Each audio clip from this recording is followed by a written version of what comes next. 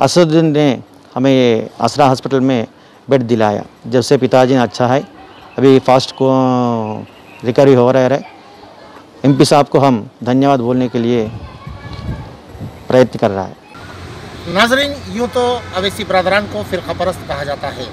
हिंदुस्तान में कई एक ऐसे अशखास हैं जो अवैसी बरदरान, यानी असदुद्दीन अवैसी और अकबरुद्दीन अवैसी को फ़िरका परस्त कहते हैं और इन्हें अक्सरियती फ़िरक़े का दुश्मन करार दिया जाता है। लेकिन फिर एक बार बैरिस्टर असदुद्दीन अवैसी, हैदराबाद एमपी ने यह साबित कर दिया कि वो फ़िरका परस्त नहीं है।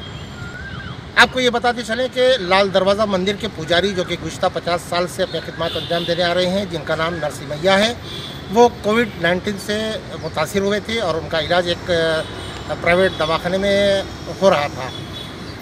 आठ रोज़ पहले वो डिस्चार्ज हुए और घर आ गए। लेकिन उनकी तबीयत अचानक फिर बिगड़ गई, कमज़ोरी काफ़ी ज़्यादा हो गई और वो खाना नहीं खा सक रहे थे, खड़े नहीं पा रहे थे।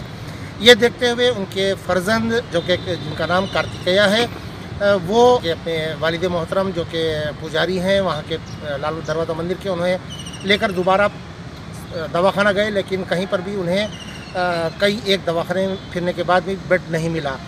जिसके चलते उन्हें बैरिस्टर असुद्दीन अवेसी से रब्ताम करना पड़ा और उन्होंने नौ मिनट के अंदर उन्हें असरा दवाखाने में एडमिट करवाया। और इस तरह उन्होंने फिर एक बार ये बता दिया कि वो फ़िरका परस्त नहीं, बल्कि वो अशखास जो उन्हें वोट भी नहीं देते, उन्हें भी वो मदद करते हैं। इस तरह उन्होंने फिर एक बार ये साबित कर दिया, जैसा कि वो कहते आ रहे हैं। ये कहा जाए तो गलत नहीं कि अवैसी बरदरान जो कि कहते आ, आ रहे हैं कि वो फ़िरका परस्त नहीं है उन्हें अक्सरियती फ़िरक़े से कोई दुश्मनी नहीं है उन्होंने अमली तौर पर भी फिर एक बार ये साबित कर दिया कि वो फ़िरका परस्त नहीं है। असदुद्दीन ने हमें आसरा हॉस्पिटल में बेड दिलाया जब से पिताजी ने अच्छा है।